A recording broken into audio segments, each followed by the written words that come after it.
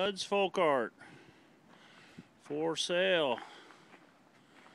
We've got uh, folk art walking sticks. We've got interesting tables.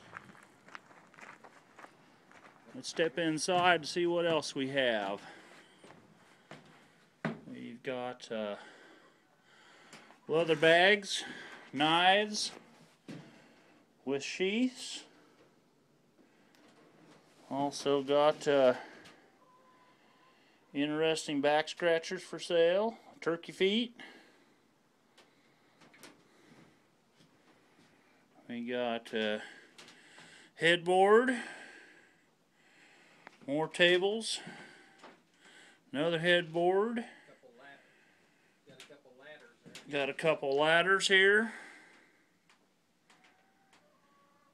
Also have some gourds and uh, some other items here. A bunch more walking sticks. Bud's Folk Art, Burlingame, Kansas.